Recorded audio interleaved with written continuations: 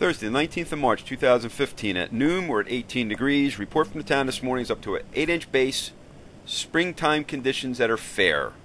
Forecast, well, it looks like some snow on Saturday. It does look like winter temperatures, but it is that time of the year, so it's hit and miss. Got to ride it while we got it, take advantage of it, and that's what these people are doing right here. Have some day trippers up and joining the trails, and here's what it's looking like out on the trail camera.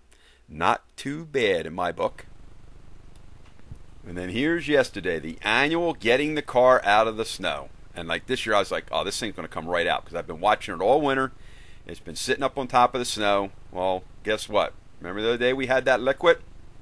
Well, it froze it in. It sat there all winter perfectly fine. If I would have moved it last week, I probably would have been okay.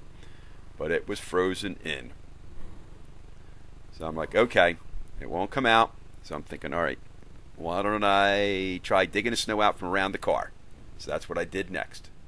I dug it all out. I don't know if anybody noticed, somebody put an entry up on the blog. They're up riding right now. They said the trails aren't that bad a shape. It's pick and choose. It's springtime, just like the town report. But if you want to get that last ride in, you can do it. Especially if we get that snow they're talking about on Saturday. Things should be not too bad. So then we tried again after digging. Still didn't come out. And now I'm like kicking myself because how many years have I done this? So I figure, okay, I'll get the crowbar. I'll chisel all the ice out from around the tires. So I chisel all the tires out and I figured I'd give it a try then.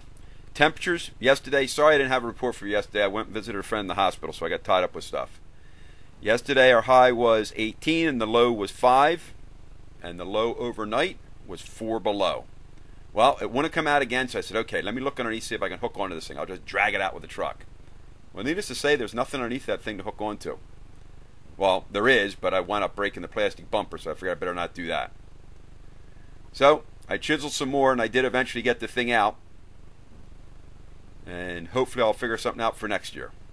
Because I'm getting a little tired of doing this one. Well, hope you're having a good one.